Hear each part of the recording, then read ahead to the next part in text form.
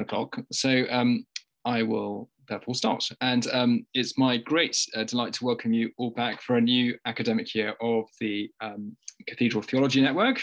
And um, if you haven't uh, taken part in one of these courses before, um, it's uh, the, the premise is very simple. You haven't got any homework to do unless you want to do it.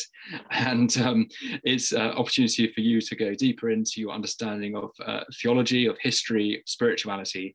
And, um, and uh, this year we've got a range of uh, really exciting courses coming up. Some of them are sort of half developed by speakers. They're not yet up on the website, but uh, do keep checking for things for 2023. But um, before Christmas, we've got um, this wonderful course from uh, Ben on music and worship, and then later in November, a series on the Reformation um, in England. I think it is English Reformations rather than uh, Britain.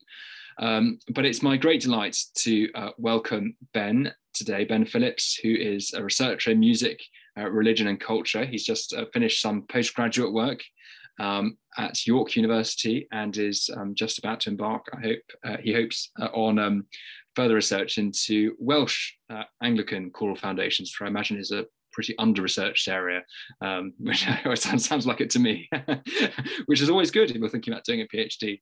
Uh, so that's great. And um, uh, Ben's got a range of his own musical experience, which I'm sure he'll talk about, um, and studying music um, and uh, also working for cathedrals um, Lord have mercy upon him. And um, it's uh, it's great to, to have him uh, lead us in this course today. And, and certainly what I've seen of, of, the course outline looks really fascinating. Just a bit of housekeeping for the course. We don't tend to, um, unless Ben sort of invites um, comments, uh, I tend to encourage everyone to sort of keep keep muted. But if you've got questions as as they emerge or occur to you during the course of the 45 minutes or so, um, uh, do um, yes, oh, look at that. Uh, you do have a pencil and notepad ready. there's a there's a strong um, year six element to that. Um, but yes, have a pencil and notepad ready. But um, you'll notice that hopefully if you're well accustomed to using Zoom, at the bottom there's a little uh, option to click on chat. And if you click on that, you should see the chat to everyone and you can write your questions there. So that's probably the best way to um, to proceed. Ben might ask you to elaborate upon that question when it the time comes. Uh, um, but um, uh, but in the meantime, um, there's probably not much more for me to say, and uh, just to to welcome welcome you all and let uh, Ben get on with it. Ben, well, uh, warm welcome to you. Uh, we'd all be clapping our hands enthusiastically, but we won't do that because um, it'd be very noisy.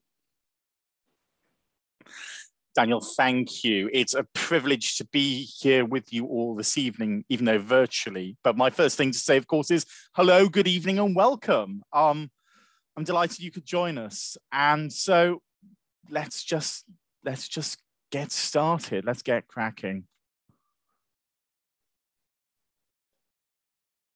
In an interview with Douglas Murray, the world's most famous atheist professor, Richard Dawkins, gave an insightful and for some, quite a shocking quote.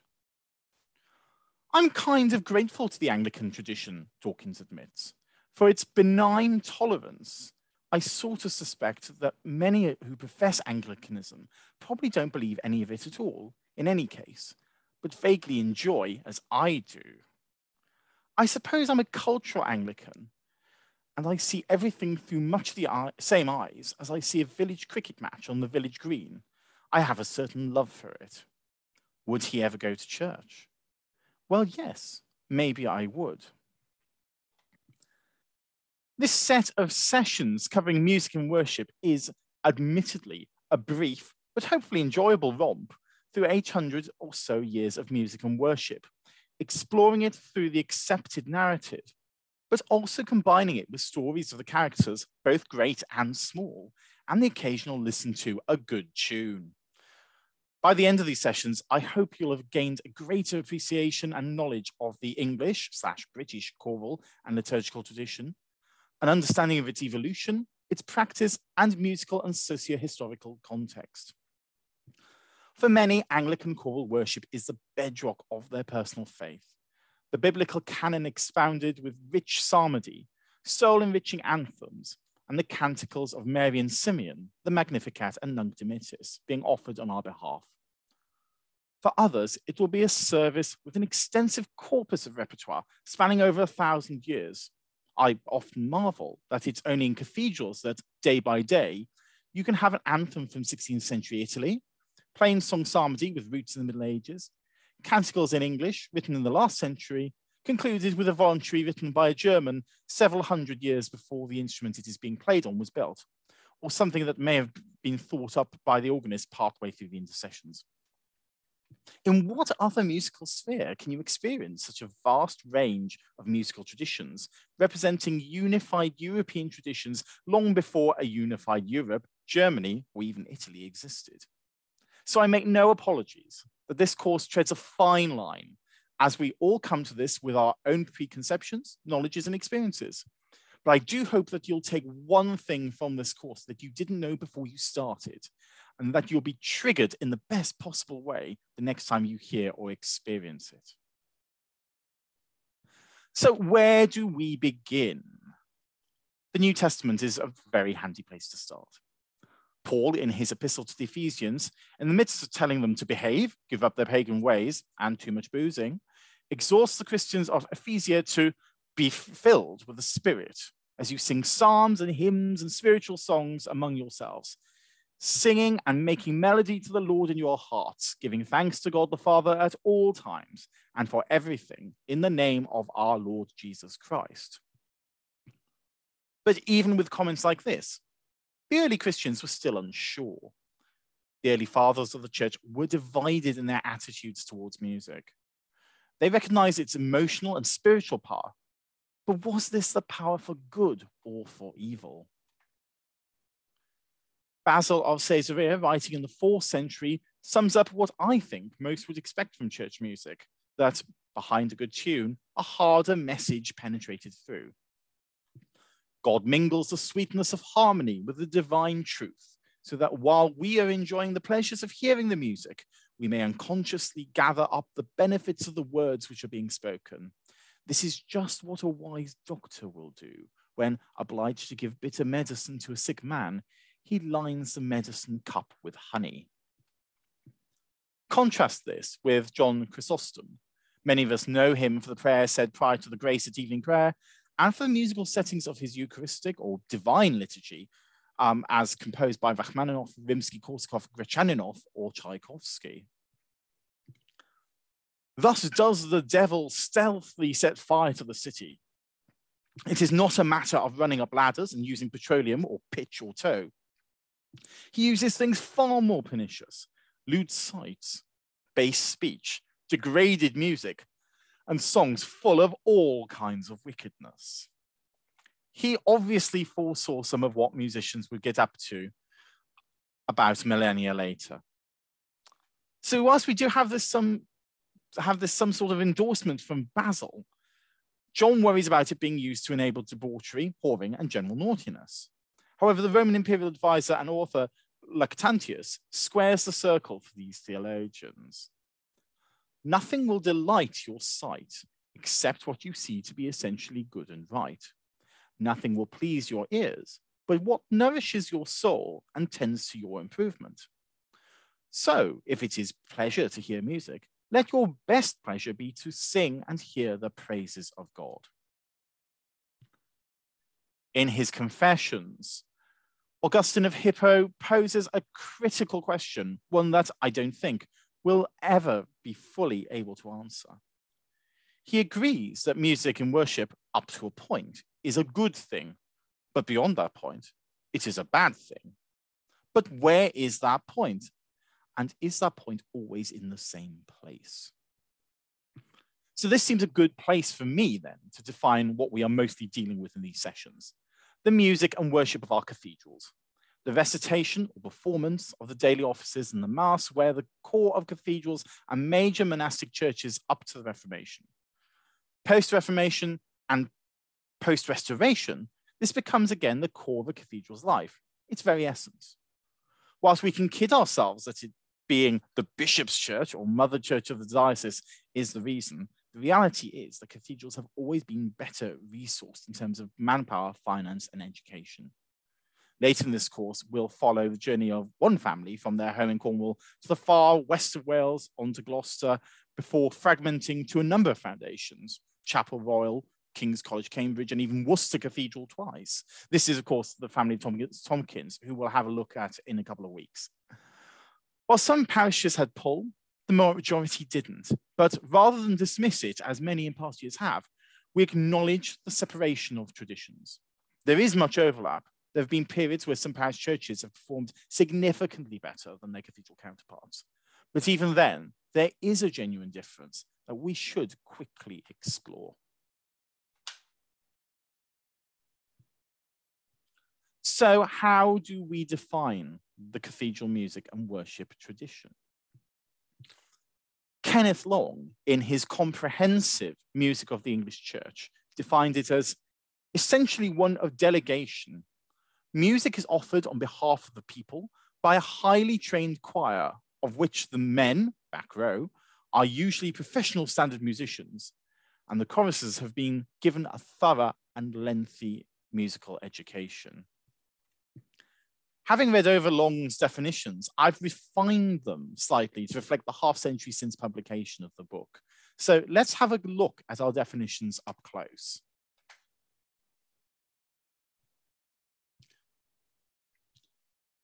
Cathedrals offer sung worship on behalf of the congregation. It is a spectator sport. Whether three or 300, the worship goes on exactly the same at least two full choral services are sung on Sunday. Evensong is sung on multiple occasions during the week. The repertoire represents a millennia of music, representing a wide corpus from plain song to modern Western art compositional styles, requiring versatility in performance practice. Psalms are performed according to either those of the day from the 1662 Book of Common Prayer or a weighty selection from the lectionary. Psalmody is performed akin to a ping pong, one verse sung by one side, the other verse by the other. Two sides, the decani for dean and cantoris for chanter, are used to offer antiphony not only in psalmody, but in other things such as the verse anthems and verse services, which were in vogue during the Reformation era. Anthems following the third collect at morning and evening prayer are nigh on obligatory. These show most versatility in composition, richness of textual choice, and can often be seen as the tour de force of a service. Many cathedrals save their weighty works for the weekend or for principal holy days. And in parish churches, the concept of the choir in a parish is different to one in a cathedral. The parish choir lead the people in offering sung worship. Part of the Sunday liturgy, which would exclusively be reserved to the choir in a cathedral, is shared with the congregation. This may be the singing of Gloria in Excelsis or Sanctus at Mass, the responses, psalmody, or even canticles at evening prayer, many now having sadly dispensed with the singing of morning prayer. Hymnody prevails, more hymns, less anthems. There's compromise. Cathedrals expect, nay, demand, a fully sung service. The congregation are spectators, but in parishes, they are participants. The late 19th and earlier 20th century saw the evolution through the liturgical movement of the whole people of God being participants. And this is best reflected in the parish compromise. As described before, the Gloria at Mass might be congregational, whilst Kyrie or Agnus may be performed by the choir alone. At evensong, this will be demonstrated through the singing of canticles or psalmody to Anglican chant by all and an anthem being replaced by a hymn long extemporized on ideas of repertoire separation, but I don't believe that that's, there is a distinct corpus of parish music, save only for certain snobbery. There are places we could all name that blur this line. Cathedrals where the interpersonal dynamics and inherited tradition mean that a more parish type of worship has to be offered, particularly the Eucharist. Then again, a number of parish churches can also rival, if not better, many cathedrals in their musical and liturgical offering. So as we prepare to dip our toes into the timeline, let's quickly recap. The music and worship of Anglican churches is part of our wider cultural and national life. If even Richard Dawkins comes out in favor, then we know that we're onto something. It's a big topic. We're going to dip our toe along the way in many different aspects and gain a greater understanding and knowledge of a complex living tradition. We've learned that music has always had a place in Christian worship. The early church fathers weren't united on their views, but the commonly held view was that it was a good thing and a means to an end. We acknowledge that, in England at least, there has been an active divide between cathedral and parish style worship and music. We're also aware that it isn't a fortified divide, but one where much lies in the grey areas. So let's jump into our time machine and go back before the internet, before television and wireless, even before the printing press. Travel was arduous. Communications took months, if not years, and the church occupied a central position as educator, oppressor, and liberator. Of course, this period is termed the Middle Ages, and it is here, in this age of innovation, but also of squalor, that we take our first dip into music and worship. The early musos amongst us may be disappointed that I'm not indulging too much into the music of the period. Part of it is because, like that many others cover it with honey and ooze far more fabulously than I ever could. But also, we're only taking a dip into all this here. So you get a bit of an idea of what comes next. A setting of the scene, if you will. Panic not, I've got a few little snippets in here and hopefully some recommended listening available later. For cathedrals, this is the golden age, both in power, in spiritual and secular terms, and finances are at their height. Cathedrals are at the beating heart of their local and regional economy in terms of both soft and hard power. Centers of academic and practical learning through their schools of vocation formation. Their libraries are developing with books written and even illustrated on site.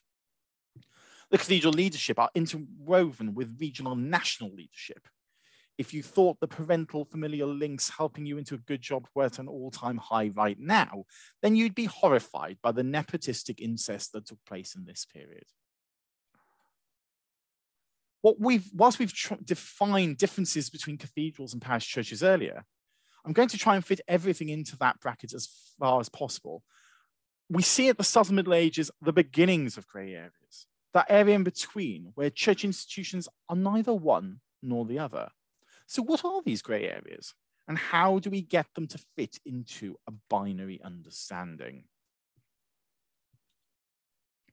So, we have an understanding of what a cathedral is and what a parish church is.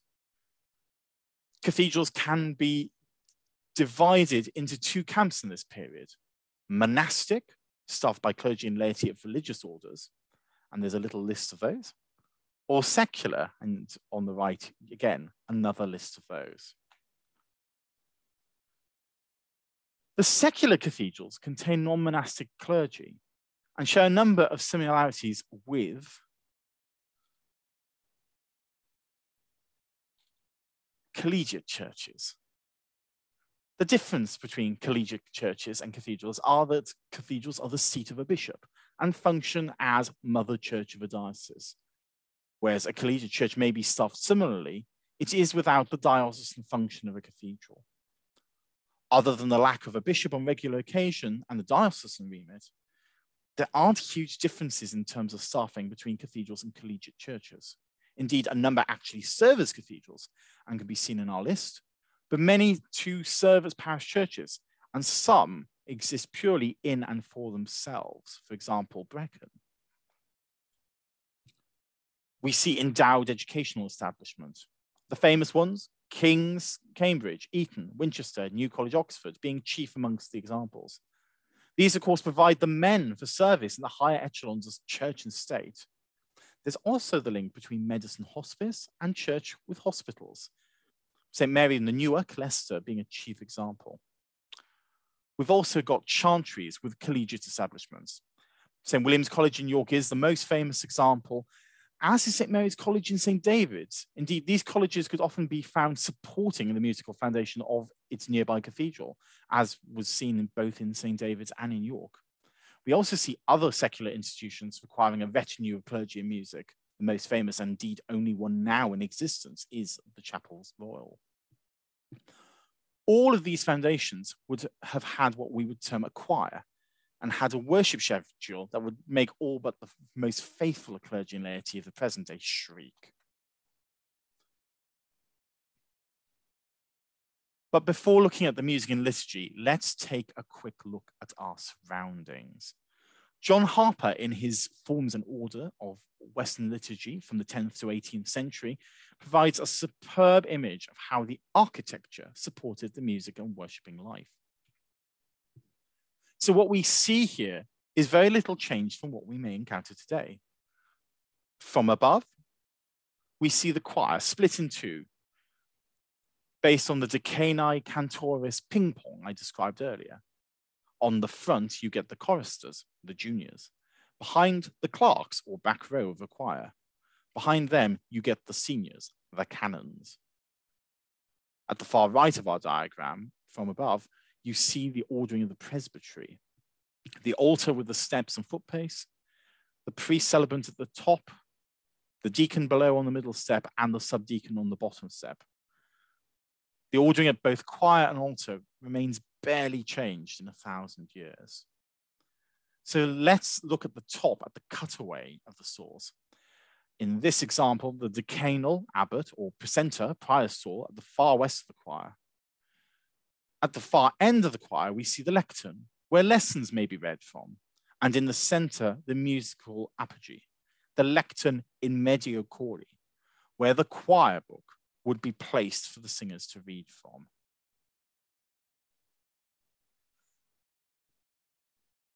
Music has always been an expensive outlay for cathedrals, and in the Middle Ages, this was no different. Whereas now we have individual copies of works, back then, and right until the invention of mass printing, choir books formed the corpus of performing editions for works. These books are huge, and they need to be, as the entire choir would gather around to read their parts. The trebles at the front, being the smallest, with the other parts gathered around the back. Often, these choir books were lavishly illustrated, demonstrating their importance and the investment shown in producing them. Originally printed on vellum, paper became more popular and less costly. Cathedrals would possess a number of these to reflect a growing body of musical repertoire. So we've talked about the architecture, We've talked about what the singers used to read music. But before we get to the meat of it, we need to visit quickly the interplay between choir and clergy, musicians and priests. There were clear rules as to who did what, when, and why. At each service, someone was required to begin it. This varied according to the item and according to the importance of the day. At the celebration of the Mass, parts were reserved to the celebrant, the priest at the altar, the deacon or the subdeacon. At the recitation of the office, the minister's part was usually taken by the duty cleric, the hebdomadarius. However, if an absolution or blessing was given, the senior priest present would do this. At both Mass and the office, the choral chants were begun and the solo sections sung by the members of the choir, chosen by seniority. Those who were tasked to begin each chant were chosen by the precentor, the cleric in charge of music and worship, at the start of each week. Thus began the ping pong between the two sides of the choir, which continues to this day. You may see on some cathedral music lists specified verse week decani, or in some places at the start of the week, it'll simply read decani or cantoris without further explanation. Number of persons beginning the chant differed depending on the rank of day, from one or two on a normal or ferial day to four or five on principal feasts, such as Christmas. The place from which they sang varied too, and was influenced by local tradition. Some would sing from their places around the choir lectern. However, some would claim the right to sing from one of the stalls, if clergy, or from the other lectern.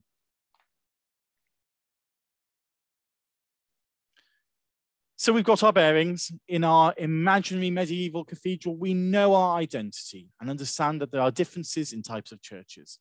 We know the geography of the performing space, we know what we sang and what from, and we have a fair idea of the internal order and who did what. So let's then have a look at what a typical daily cycle looked like in a fully functioning foundation.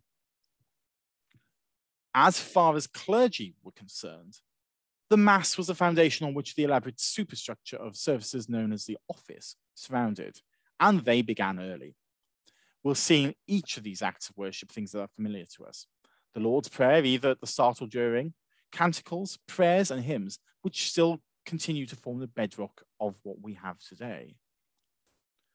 So the offices of Matins and Lauds certainly fall during the night, around 3 a.m. or 5 a.m. respectively, depending on the time of dawn. After dawn, they would say prime, which will often be followed by the morrow mass, what we may term now as a low mass, with one priest celebrating with the server. The office of tierce followed next, and would be followed by the high mass, celebrated with the three sacred ministers. Sext would be said near to midday, often fo directly following the high mass, with none in the mid-afternoon. Vespers would follow around dusk, with Compline at the end of the day. Some places variated how the offices fell in each day to ensure maximum turnout for high mass. Monastic foundations, of course, would include other paraliturgical offices throughout the day as devotions um, were needed. So let's take a quick look at the structure of the offices. Note the little explainer which shows which bits would be chanted and said by who.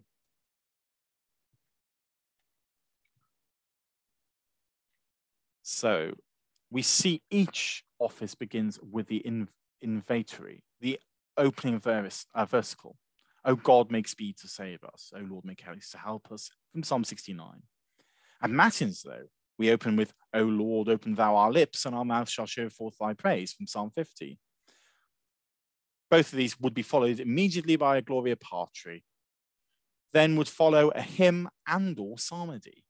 The offices are rooted in psalmody. A reading or short lesson from scripture, sometimes no more than a sentence, would follow. At the major offices, Matins, Lauds, Vespers, and Compline, a canticle would follow.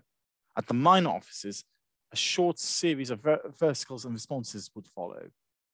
Each office concluded with a collect, a blessing, and a dismissory. Let us bless the Lord, thanks be to God.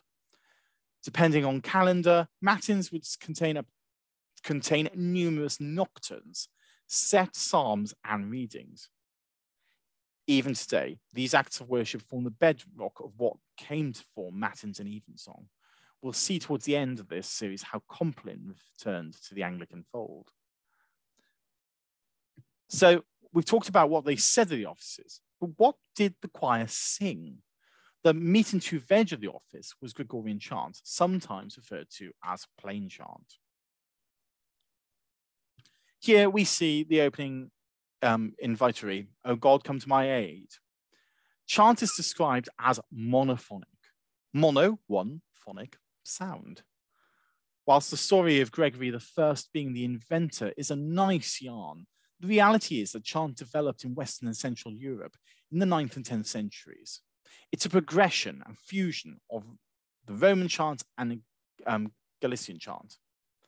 Its, its dissemination around Europe shows the role of improved communication and transport in effecting change I could do a whole session on chant. However, I admit that others would do it far better.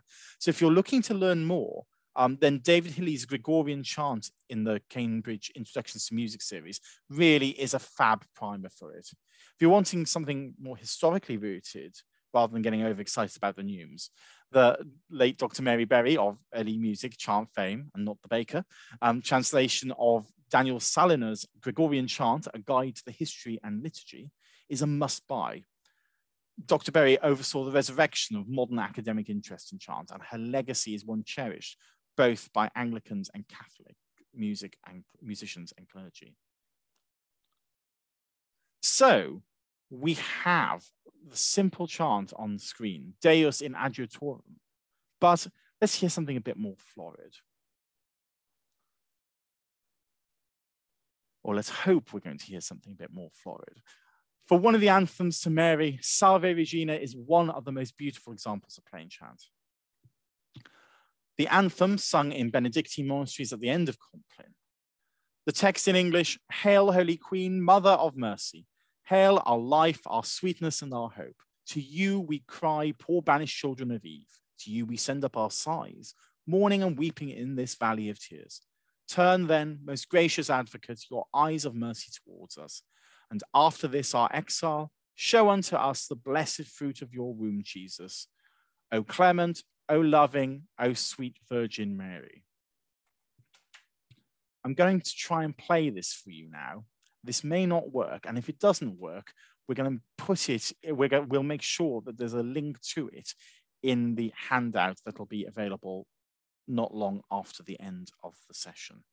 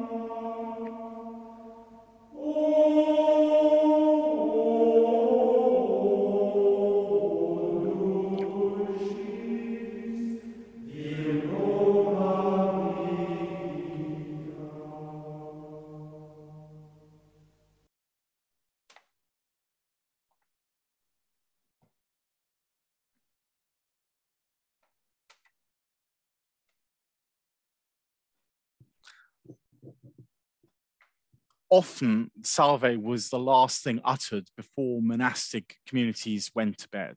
Imagine that, going to bed after that every night. Bliss.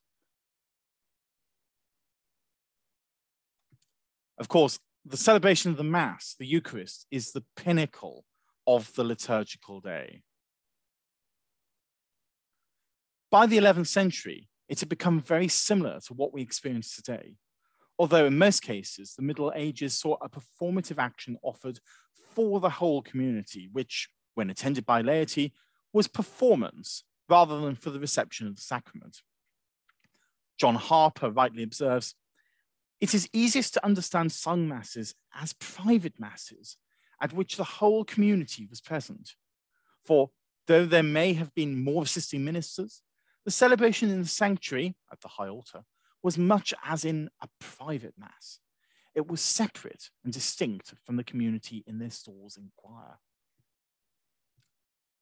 We see that linear progression in our charts, but as Harper notes, what was sung by those in choir did not always coincide with what was said and done in the sanctuary. There were texts which were only audible, only to the celebrating priest, and ceremonies restricted to those in the sanctuary.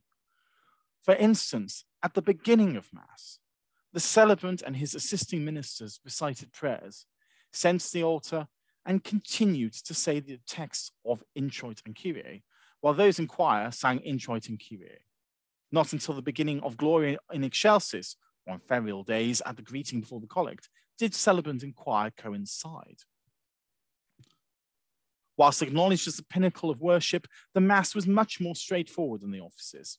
The ordinary of the Mass, Kyrie, Gloria, Credo, Sanctus, Benedictus, and Agnus Dei, remained the same text, albeit being able to be performed in a variety of settings. Most of the changing parts affected the sacred ministers. The introit, the collect, epistle, gospel, the secret, the preface, communion, and post-communion collects are changeable, all of which really fall on the sacred ministers. Again, we're going to try and use technology again to show you a short film, and I do apologize for the quality of filming. But if we do get to run it, you'll see the start of a high mass for Candlemas. The sacred ministers venerate the altar at the start of the mass and what Harper has described above in action. The choir are singing Gaude, Gaude Maria by 16th century composer John Sheppard. Whilst the text isn't correct for the introit, in the Sarum Rite it is the text, we wait for thy loving kindness of God in the midst of the temple, with the verse from Psalm 48, great is the Lord and highly to be praised in the city of our God, even upon his holy hill. The celebrant will have said this as the choir perform the Sheppard. So we're going to quickly just get a taste of that.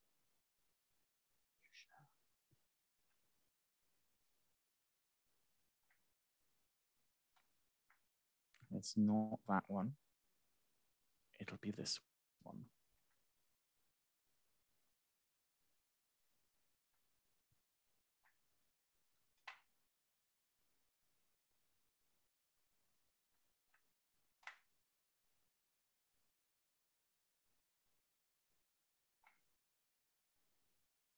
I do apologize.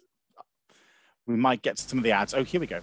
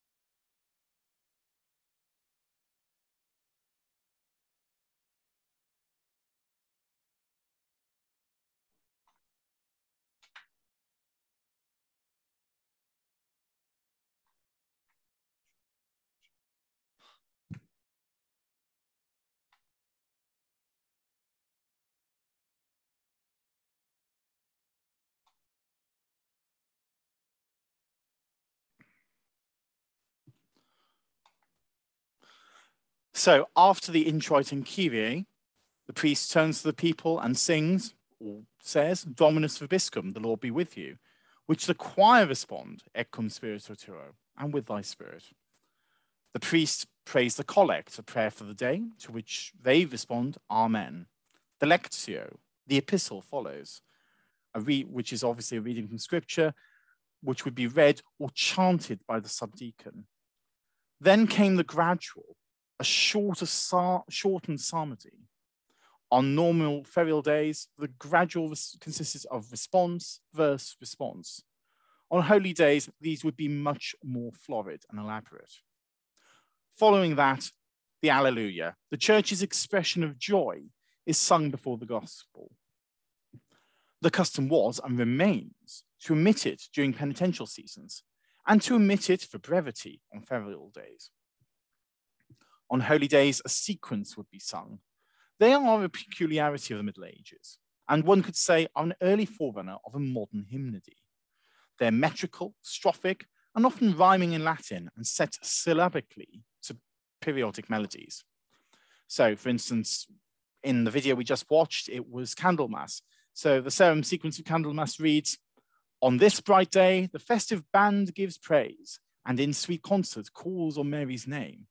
Purest of virgins, thou alone divine, Queen of the world, salvation's cause thou art. The gate of light and heaven, full of grace. To her was erst the angelic message sent, Hail Mary, of God's grace forever full. In periods of penitence, the sequence is replaced by a tract, which follows a similar idea, although it's less bouncy and usually bewailing of how just awful we are. And so we get to the gospel, which would be chanted.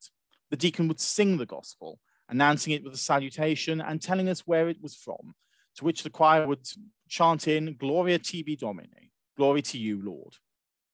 Immediately following was the creed, the, the credo, the Nicene Creed. In the rite, there was only one melody. The celebrant intoned Credo in unum Deo, I believe in one God. Following the creed, we get the offertory. The portion of text used, again, is a truncated psalm, like at the introit and later at the communion. At Candlemas, the text used is a verse from Psalm 45. Full of grace are thy lips, for God hath blessed thee forever. The secret, a prayer said over the oblations, is said naturally, secretly. The conclusion, however, is sung. The secret for Candlemas would be said, Grant, we beseech thee, Almighty God, that as on this day the gifts are consecrated by the adorable oblation of thy Son, so at the prayers of his glorious mother, the brightness of everlasting light may be bestowed upon us. But then would be sung audibly by the priest, through the same Christ our Lord. Amen. Leading us straight into the Sursum Corda. The dialogue between priest and choir here. Lift up your hearts, we lift them up unto the Lord. Let us give thanks unto the Lord our God. It is right to give our thanks and praise. Are not only sung by the choir, but are sung by all present. This leads into the preface, again, seasonal, and addresses the celebration being offered.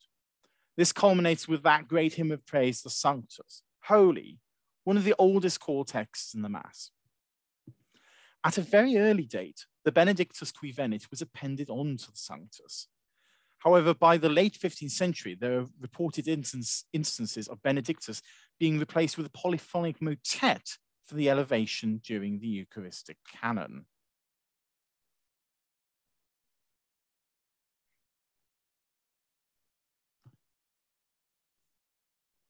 So the canon, the prayer of consecration, the, where the bread and wine are, of course, consecrated. It's a long prayer. For those of us accustomed to the Church of England's Eucharistic prayers of the last 30, 40 years, really is a belter.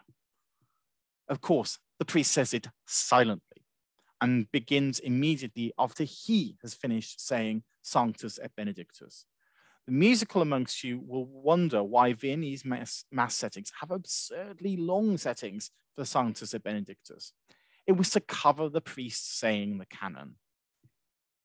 There isn't a definitive reason for the canon being said silently. Different reasons are proposed to explain why, from the 7th century, beginning in Gaul, priests in the West came to pray the Roman canon inaudibly for all but themselves. By the late 18, by the late 800s, I beg your pardon, it came to be considered too holy to be heard by the people and was prayed in a low voice. There's another school of thought who believe that it comes down to practicality. The priest facing east, having to shout very loudly in the Roman basilica, may still struggle to be heard. By saying it sotto voce, the priest isn't concerned with performing it so that the faithful can hear.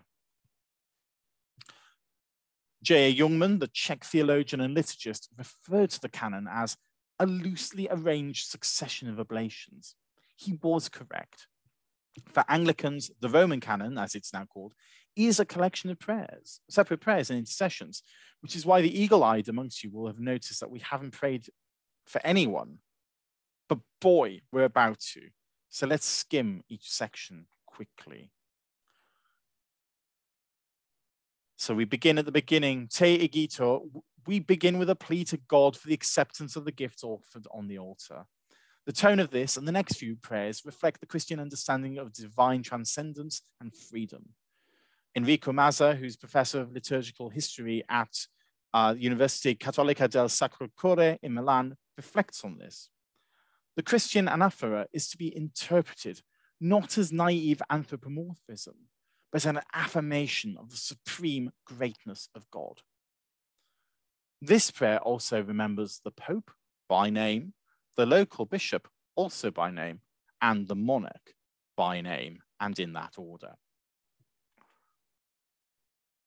Then we get to the memento. Here we begin the proper praying, or rather, the priest on our behalf prays for those present under their care and for the living who they are bidden to pray for. It's interesting to note the addition of individual intentions, which can be the bane of intercessions in church, actually were formalized here. This is why you'll find yourselves praying for Tottenham to win their next game, for Trevor the sheep, or as one colleague of mine once had to, for each individual member of a children's television program. You ever wanted to know how it happened, the memento, remember. Communicantes. This is the moment where the priest asks the prayers of the saints beginning with Blessed Mary the Virgin and going through a whole waft of them, apostles and the first 12 martyrs of the early Church of Rome. Poor Joseph, earthly papa of Jesus, only got added by John the 23rd in 1962, so doesn't get a look in during the Middle Ages.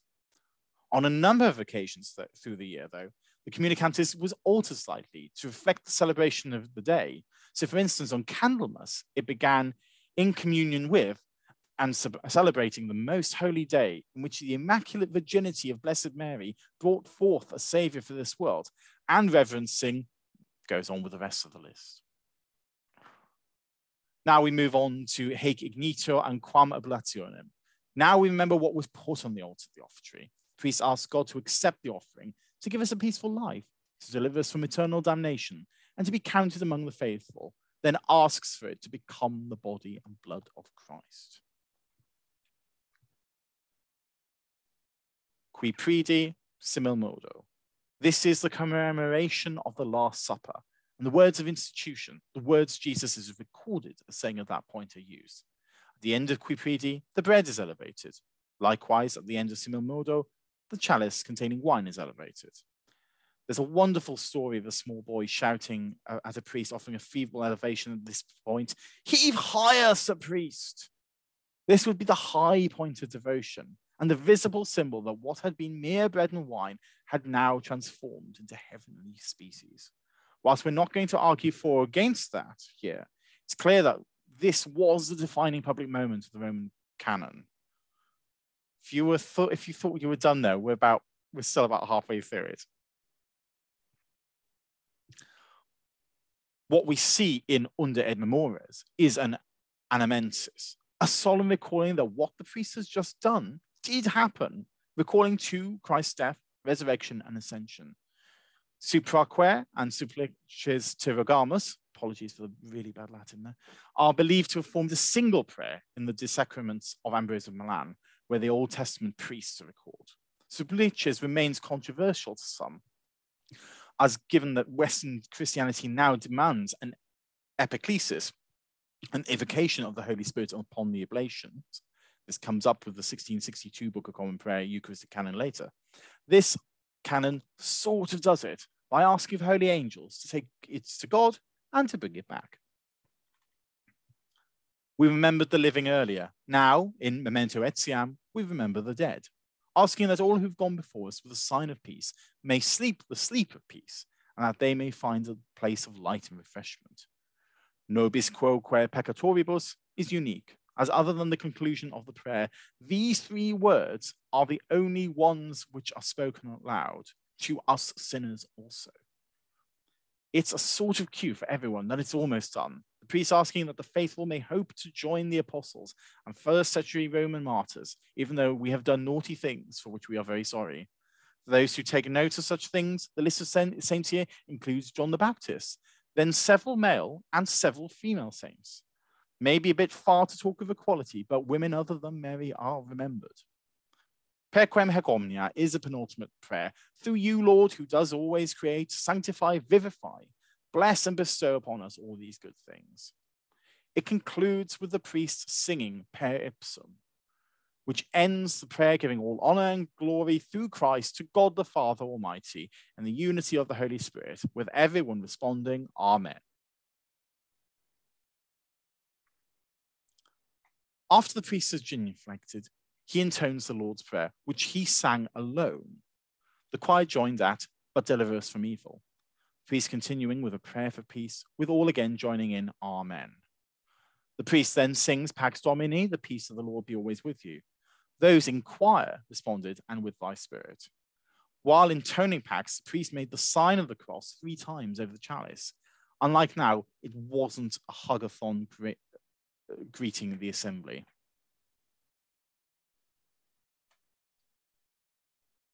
The Agnus Dei follows. A Syrian custom of a chant addressed to the Lamb of God was introduced into the Roman Rite Mass by Sergius I. It forms part of longer litanies, see the Roman Litany of the Saints, or even the conclusion of the Anglican Litany in the prayer book. Three invocations concluding, Have mercy on us. Sorry, two invocations concluding, Have mercy on us. Final one, Grant us peace, having become the norm. That was not meant to happen then. Apologies. And then we get to the communion. Here we have both the communion chant and the communion itself. The communion chant isn't usually no more than a sentence. The prescribed one for Candlemas taken from Luke 2. It was revealed unto Simeon by the Holy Ghost that he should not see death before he had seen the Lord's Christ. The reason for the brevity? At most masses, only the priest communicated. Others would, either at the end of Mass or on most occasions, not at all. This was reasonably normal in Western Christendom prior to the Reformation. And so we get to the end, where at the end of Mass, the priest greets the people, Dominus Vobiscum, then prays the post communion collect, the prayer for the day. For Candlemas, this asks Christ through the intercession of his mother that the sacrament received might strengthen and mend our lives so that they may be, we may be found ready for the world to come. Deacon would sing Ite missa est, go in peace. The, the choir responding, Deo gratias. Please, priest then may give a blessing.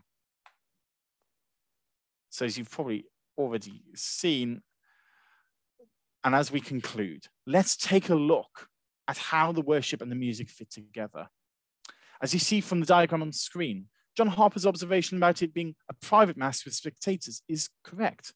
However, you dress it up, ministers at the altar and the choiring choir coincide at points. But outside of that, there is an organic separation. So that's about it. That's the worship and some music of the pre Reformation period. Some of you will be thinking I've not covered much musically, and there's a good reason for that. Much of the music for this period is practical and now rather specialized. Quite a bit survived what happens next, but is often quite fragmentary. So rather than having something complete, we often have to make do with reconstructions. There are some fab recordings of bits from the Eton Choir book and other stuff from the period out there. Uh, do go and look at um, YouTube and wherever you download your music or stream music. Um, those will all send you to hear the snippets as they've been recreated. I'm hoping after this that I'll be able to share with you a resource list um, which has a few snippets on there that will point you point ahead and I'll try and make next week's available to you um, in good time before next week's um, session so that you can get so that the eager beavers amongst you can get a head start. I think we've come to the end. So I'm going to stop talking for a little while and listen to some of your questions. Let's. Um, Thank you so much, Ben. That's, that's fabulous. Um, I learned a lot. Clearly, having been a bit too sleepy in my own liturgy uh, lectures as, a, as an ordinand, so it's a good recap. Um, just looking at some of the comments uh, in the chats section. Um, you've answered that one.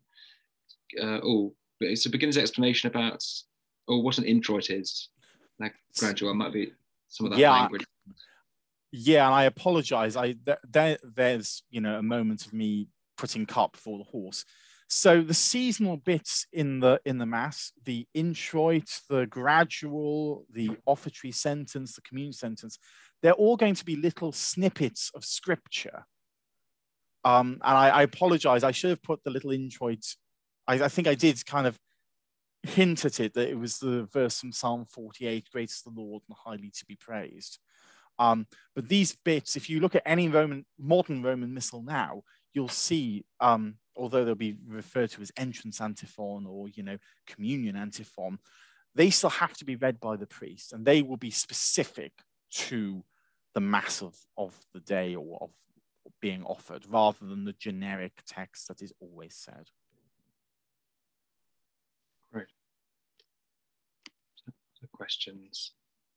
Not sure what the reference to the Canadian Presbyterians from Elizabeth and Ottawa. I'm not sure you're referring to. I think I said I think quite I, different I, from the Canadian Presbyterians, I'm guessing, but we'll probably I, come on to the Presbyterians later.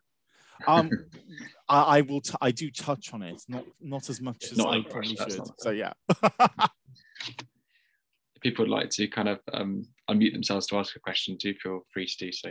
Yeah, please do.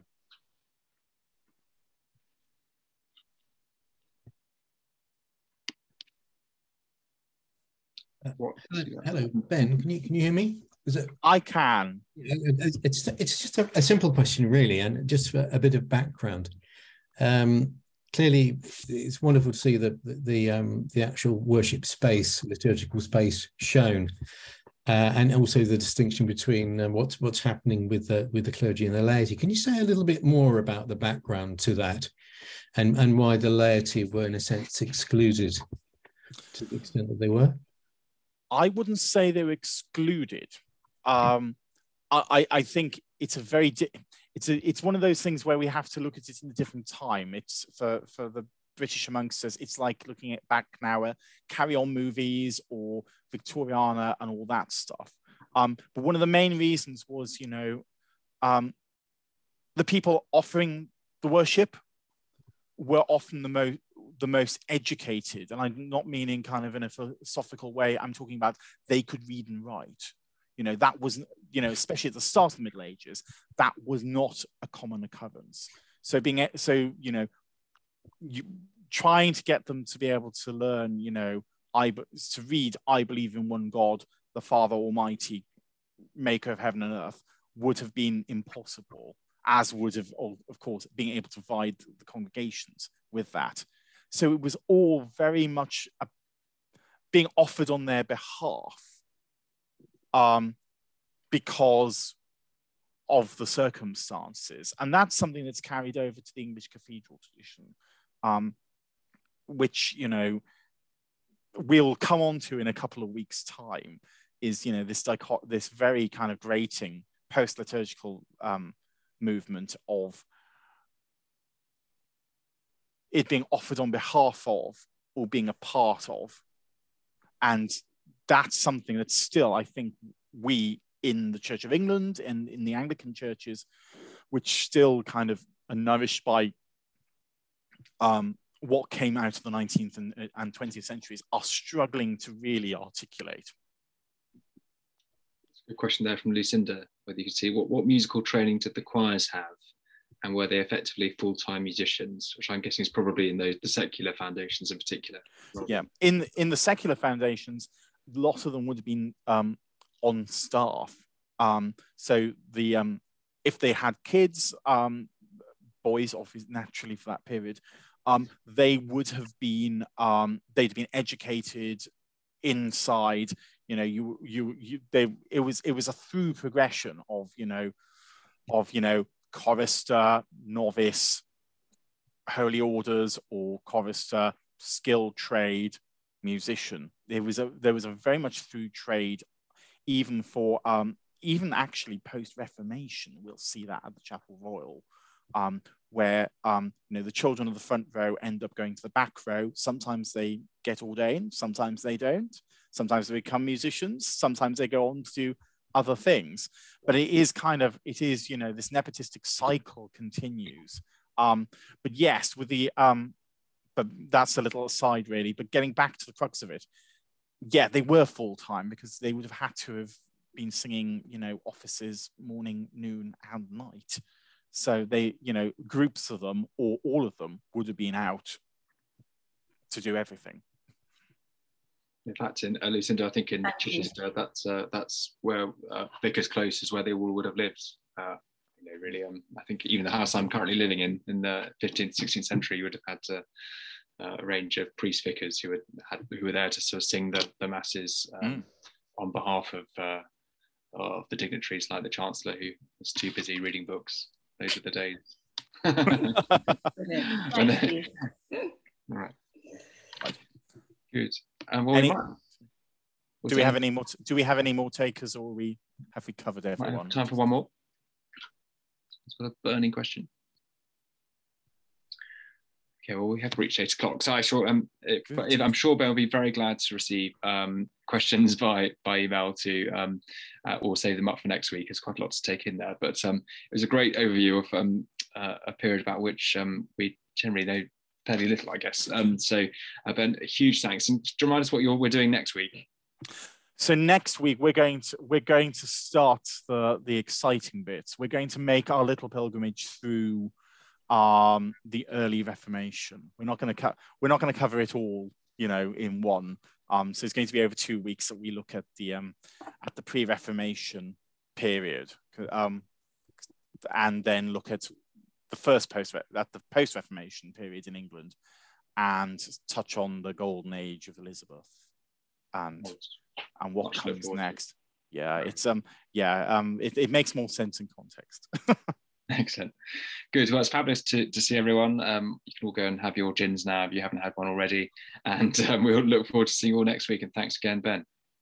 Brilliant. Thank you all. Look forward to seeing you all next week. Thank you. Thank you, Ben and Thank Dan. You. Thank you. Really Thank, you. Thank you. Thank you very much. Good night. Bye. Thanks very much. Good night. Bye. -bye.